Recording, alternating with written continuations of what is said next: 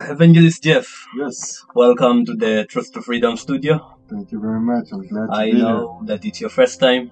Yeah, but uh. I am glad that um, you have actually accepted the invitation Mm, to come. yeah, I, I was actually very excited about you know coming over here Yeah, because you know I've been um, also checking um, at what you're, you're what you're what you're doing. You Yeah. know, and and I'm actually very interested.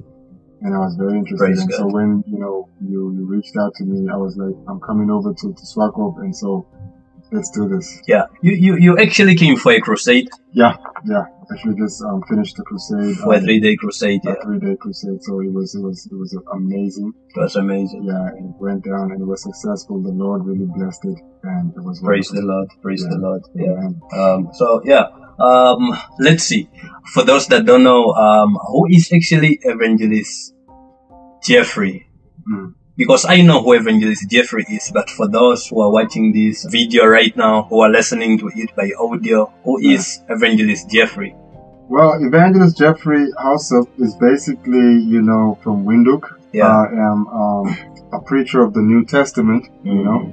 And when I say that, a lot of people think I don't believe in the Oh, New yeah, Testament. the Old That's not what, what, what, what we're saying. That's Yeah. not what I'm saying. You know, Yeah. I believe both Old and New Testament. It's just that I understand the New Testament, you know, um, is, is after Christ's death and, and, and resurrection, right? So Yeah. his resurrection, now the new covenant is what the Bible reveals in the New Testament. of the. Bible. So we are, Paul says, puts it, puts it this way. He says in, um, I think in Second Corinthians, right, chapter three or so, he Mhm. talks about we are ministers of the new covenant Oh yeah. and he's talking about the new testament so if paul says they were ministers of the new testament Yeah. the new covenant then you know and that's the covenant that we are all un- that we are all supposed to be under Yeah. right? Yeah. then that's that's why we are ministers and i'm a Of the preacher New Testament, so yeah. i'm from the church of christ i'm, I'm an evangelist Yeah. jeffrey Haoseb, and obeyed the gospel in baptism um, 2013 Okay. only- Wonderful. only started preaching 2020 hmm so ever since then Okay, it took quite some time, it eh? took a lot of time Wow. That's amazing. That that reminds me of the story of Paul. Uh, uh, after being baptized Uh, uh. and uh, how long he took before you know beginning to preach. he Preach, wanted to uh. make sure that whatever he was preaching was in alignment with the with what with yeah, the, with others with were the- also yeah, yeah, preaching yeah, and so on. Yeah, so this is very interesting. But uh, there's a detail there that is uh, very interesting, which um, there was a time on a WhatsApp group where we are together, Mm. where you posted one of your um, testimonies and so on.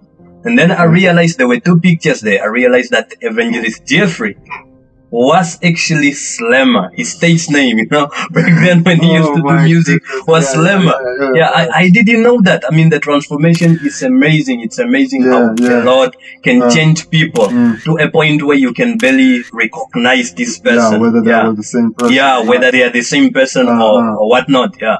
But, um, what can you say about that?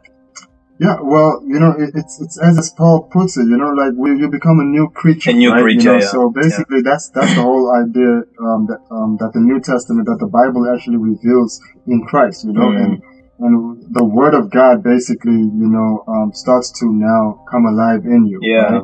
And so, you know, I just basically, you know, when I obeyed the gospel, like I said, in baptism, then, you know, obviously I was still, you know, didn't, I wasn't living faithfully Yeah, yet. yeah. Because I didn't really understand a lot. And until I started, you know, going to Bible study and, and so forth and started realizing like, hey, I need to change my life. I need Mhm. to change, sacrifice certain things about the way I live and, and, and about the way I think about myself as well. I Mhm. need to change, you know, that that whole perspective that I had, you know, and, and, and how I, the type of future, that the type of life, the type of person that I also wanted to be, the way I dress, the way I speak, the way I, you know, present myself, Yeah. you know, I have to look at all these things because all these things actually, you know, um, does matter, you know, in this, in this regard, you know, when it comes to, to glorifying God with your life Mhm. and, and, and your body, you give it as a, as a living sacrifice, right? Yeah. um, Ephesians chapter. Yeah. So, and that's basically, you know, how I, I was able to, to, to, to, look at it. Yeah. But, uh, you know, uh, what they say, which I also believe is true, uh, many people came from bandages. Many people came from, you know, some yoke, some enslavement and so on. Mm, Uh, but mm. what was that thing? Because music is quite a beautiful thing. You Yeah, understand? yeah. Music is quite a beautiful Mm. thing, and you get to meet, you know, them rub shoulders with all of these other Mm. celebrities. In your case, I don't think that you view them as celebrities because you also had celebrity Yeah, status, right? Uh, uh, Yeah, but um, how did you get to a point where you decided that okay, even though there is this fame, there is money Mhm. to be made here, there Mhm. is there might be a future, but I'm leaving all of this behind. And what were some of those addictions that you were into that you thought they were impossible for you to leave behind mm. by your own effort? Yo, that's a that's a very that, that's a very hard one, you know, because that was the that was that was that was you know leaving the music industry Yeah, it was just the hardest thing that I ever had to do. Like I'm not even like that was so hard yeah, because you know you know I had all these friends in the industry, you know, that just could not, you know, like like let that Understand, yeah, yeah. like where this is coming from. hmm and I just you know and that was also very hard for me and like I it was really imagine. hard for me to actually let go of of of because music was actually a part of part of who I was who, Yeah, who I am and yeah, who I've become exactly. you know Yeah, and so it was like letting it was like me denying who I am yeah. That was just weird you know like it was really weird I know it becomes Yeah. like an identity. yeah it was yeah you know It's like a stamp on you, a, stamp tattoo on- that can just can not never be. go away. And Yeah, the love exactly. that I had for music as an artist, music was was everything, you know. So yeah, at this point, like letting go of music meant li- like letting go of my identity, you know. Mhm. And um and so now there's also another thing is not only are you gonna let go of your music, which was your your profession, which was what you did, yeah, but now um um and who you were, you know. It was also now changing from being an artist, being a public figure, being a, a celebrity, the way Yeah, you put it, yeah, you know, to exactly. that now the question is okay now what am i supposed What to am I be gonna be? Christ? exactly. so that was Yeah. the that was really the like i couldn't i couldn't really understand where Uh huh. you know where god wanted Where me to, be, where to, go and yeah, where, from where am i going to be now and Yeah, so exactly. later on you know i now i had to now really you know i had to isolate myself right? Yeah. i had to cut out everything and everybody that had to Okay. had to do with the music industry and also with me my friends Yeah. I just had to sort of isolate myself and and just sort of have no voice speak speak into my life, if I could put it that way. I'm not Yeah. trying to be weird like many people try to. Oh, be yeah, weird exactly. Like oh, Yeah. nah, you know, I'm not trying to be all that. Uh, I'm just saying I just had to isolate myself and sort of just make time for the word. and Yeah, Just sort of yeah. study the word, and mhm. that's when I um, basically had you know time to now because I wanted to know who am I going to be? What's going to be my new identity? Mhm. Because where is God trying to take me with this? you know? Yeah. because um, it was hard for me and I didn't know what I was gonna do now. You know, once I let go of music, okay, Mm. what type of what What's kind of next? what's yeah. next for me? Yeah. know? and how am I gonna live my life? And trust me, Mm. when um we were doing Bible study 2019, I had another a guy who was actually leading the Bible study. Um, Yeah. we used to call him Brother Thomas. He was like, "What if God, you know, what if you're gonna become, um, um, you know, like a preacher or pastor in the church or something?" I was like, "No, no, no," and I was very, I, I didn't You like, going too far yeah, with and, I, and I didn't even want to hear him joke like that. I Yeah. was like, "Bro, you're you're playing with God. yeah. Don't don't do those things. Yeah. let's not go like that because I mean, come on, I couldn't see myself like." that. Yeah. And Exactly. I mean, I was a rapper. Yeah. All, my, all I, I was a rapper. You know, my music is was Yeah. so was so on the other side, Oh right? yeah. yeah. And so now you're telling me I'm gonna be a pastor, I'm Mm. gonna be a preacher. Mm. Oh, you know, imagine me preaching in the church. I was Mm. like, oh no, bro, you're You are just going yeah, too far. playing- you don't know what you're talking about. Not, let's not even go there. I don't Yeah. want to make jokes like that. Exactly. I don't think you know I'm worthy of such. You know, for- for Mm. me to see myself to, Yeah. like that. Like I'm not. I don't want to be that. That's Yeah. that's that's a, that would, that's a That's just holy, not me. Yeah. It's not me. That's that's too holy. You know, that's a Mhm. holy calling. Mhm. And believe it or not, I didn't know that that was actually God's intentions. Yeah. You know, for my life. For That's you, actually what He wanted. Yeah. Wow. Not a pastor, but a preacher, an evangelist. He actually wanted me to preach on the pulpit on Sundays, go Mhm. out and actually tell um, people around me Yeah. about, you know, um, the kingdom, the word of God. the yeah. word of God. And Wow. so that's now, that Amazing. became my new identity. Yeah. But did you ever go back to Brother Thomas and say, "Hey, what you?" me and brother Thomas. Yeah. You know, I, you know, I, I, this is this is quite personal, right? Yeah. Me and brother Thomas, basically, you know, we went separate ways. Oh, okay, and okay. It didn't end well because It does happen. It does happen. yeah, but this was this was kind of weird because he was actually the one who recognized that you know I do have a, a, preacher yeah, calling, in Calling, as, yeah. as a preacher, yeah. and he was actually the one who appointed me in the office. Okay, And then um, after I, after I got appointed as a as a preacher, yeah. you know, my first sermon Mm. that was 2020. Um, I think it was on the 16th of February. Yeah. I still remember it. You were appointed that same year? Yeah, yeah, 2020 I was appointed, but now this was a process. Yeah. that actually went through 2019 towards the end of 2000 uh, middle and end of 2019 Yeah. and I was I was really being trained thoroughly you know, Mhm. you know it was it was night and day just really just I was just in the Bible just Yeah. studying and then and, and when I got appointed my first sermon Mm. was actually about you know false doctrine and false teachers Yeah. and and believe it or not I had to call brother Thomas out Okay. and rebuke him on some on a lot of the things that he was He was teaching. yeah, because um, you know, I don't, I, I shouldn't actually say Brother Thomas out like that. But Oh, yeah, anyway, no. Um, um, but no, at the same time, you know, um, that that's actually just truth being brought out. I Yeah. mean, it's not to slander him or anything Yeah, like no. that. Besides, this is not a part of uh, what this show Yeah, it's does. not to- it's not but, to but really yet, anybody, yeah, it's not to shame him. You are Shame just telling anybody. your story yeah, and uh, yeah, everything that you went through. Mm. Uh, this could bring a reconciliation. One never knows. you So, never know. yeah. Maybe we might. Yeah, Yeah, so maybe that's also a good point that Yeah, you're making. So my first sermon, basically, I had to call him out on certain things that that you know, because the problem uh, that I had is that he would use the Bible Yeah. and then, but now he would twist the Bible Mm. at the Bible study and, and, and, and to teach um, and to, to promote um because he was teaching Yeah. out of a book called The Teaching of Light. Okay. But then he would use the Bible to you know and, and twist the message of the Bible to promote the teaching of light. Okay. But now the teaching of light. Who's the author of that specific? Um, I think it's uh, it- I think it's uh, um, uh, basically a, a, a um, book and a doctrine that that that originates maybe from the time of you know from Gnostic teaching okay. back in the in, in I think the first century or you know those times. The Apostle John actually talks about that. Okay. It's about this belief, right? This belief that there is you know two gods or Okay. two versions of God. Yeah. God is good, Mm. but God is also bad. Yeah. if you see somebody, you know, um, get, um, for example, just an example, right? Mm. According to what they were, that what the teaching of What was being taught? Yeah. what was being taught is, book, yeah. yeah, you're being taught like, hey, look at the Bible. Yeah, God is good and God is also bad. If you see someone get poisoned and die Mhm. in a bar, you know, someone puts poison in and, and kills somebody, or Mhm. someone gets poisoned and a woman gets raped or something like that. Yeah. He's saying that's God's doing, but God is Oh, only using okay. Satan to do His bidding.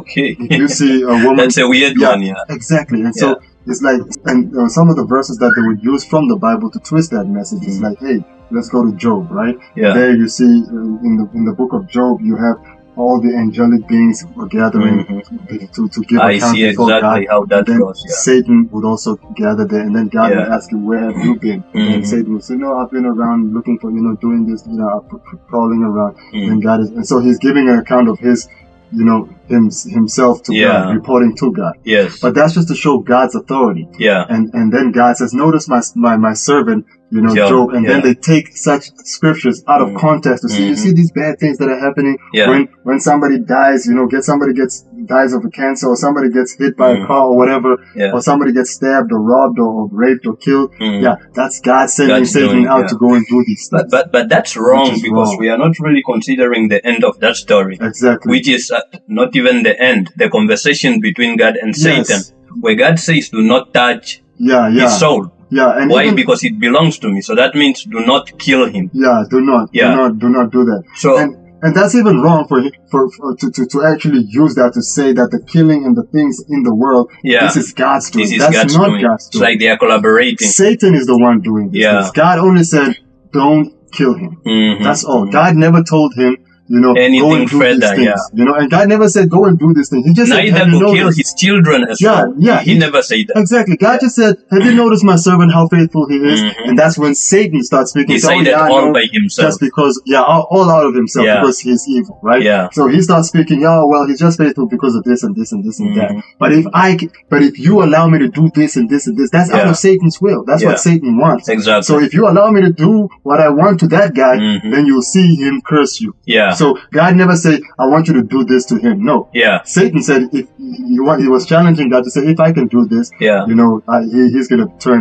turn, um, turn around and, and he's gonna curse Exactly. God. Exactly. And God just said, okay, you know what? Just don't kill him. Do you see Mhm. what I'm saying? Yeah. And then you take a verse like that out of out of Out of context, context, and teach yeah. that God is a bad God also, Yeah. And God is the Good one. God, bad God. Yeah, Satan is basically doing God's wow. will, and so they teach good That's God and bad God, and that's where we see the Apostle John writes in, in in First John and Yeah. says, you know, God is light, and Mhm. in Him there is no darkness. So he's Yeah. addressing this Gnostic type of teachings. Yeah. You know that God has some kind of evil. Yeah. So it's the bad- opposite. so they use it's that kind of writings. It's the opposite. Mhm. So basically, all um, um, um, matter is evil. Yeah. Basically, it's like this body is evil. Mhm. So the savior of the world couldn't have come into a in a human In a human body. Yeah. because that would be evil. Yeah. So Jesus never came in the flesh. But then Paul, um, the apostle John, addresses that and says anybody who, who confesses that Christ did not come in the flesh Yeah. is an antichrist. He's an antichrist. so the apostle John Mhm. was addressing this Gnostic teaching Yeah. and this Gnostic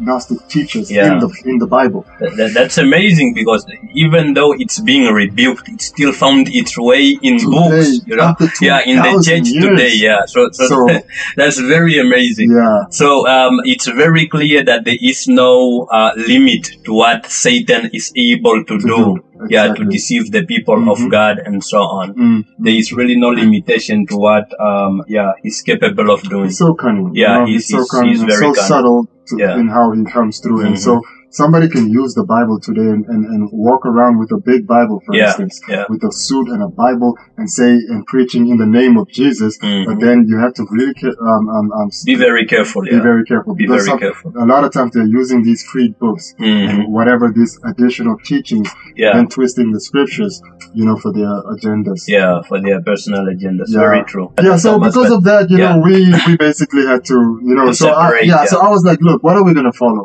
Yeah. Uh, we actually had the congregation, right? And Mhm. so I was like, that Sunday, I was like, are we gonna follow the teaching of light, Mm, or are we gonna follow the Bible? And so I said, look, any everybody who's who's gonna follow the Bible, mm, stand with me, yeah, and everybody.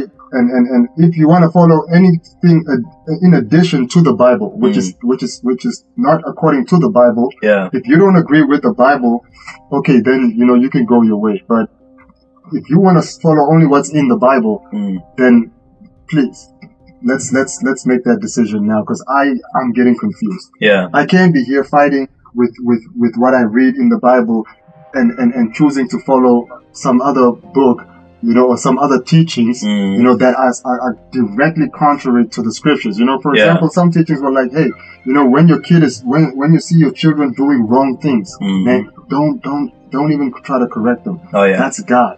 You you know, um, Wow. using them, or somebody come and curse you in your face, yeah, you know, and saying bad things to you. He's Mm. saying, just know that that's God using the devil to come and do that. You know, things like that. And I was like, oh my gosh. wow. Does the Bible not say you are, you are to, to raise your children You are to discipline them, discipline them not and spread the rod from them. As a matter of fact, according yeah, to, the, to, the, to the way of the Lord. precisely. So you have to be there. You have Yeah. to you have to be there. You know, help. You know, growing, uh, Yeah, teaching your children the right them way, in the raising right them way, in the yeah. right way. Exactly. So it was just too much for me. yeah. And then, But but uh, you you said those who uh for the Bible yeah, yeah, stand with me, yeah. and those who are not, I don't know what you're gonna do. How did that go? That when moment?